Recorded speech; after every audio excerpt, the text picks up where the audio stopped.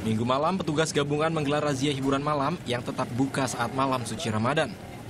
Razia ini dilakukan setelah adanya laporan warga yang resah dengan tetap dibukanya sejumlah tempat hiburan malam di Jalan Nipah, Kecamatan Padang Barat, Kota Padang. Guna mengelabui petugas, pemilik tempat menutup pintu depan lokasi. Hampir satu jam petugas tertahan di luar pagar. Akhirnya petugas dapat masuk dan menemukan sejumlah pemuda tengah mabuk dengan sejumlah wanita pemandu karaoke. Sebanyak dua tempat hiburan malam yang buka saat Ramadan. Dari lokasi tersebut petugas mengamankan 13 wanita pemandu karaoke.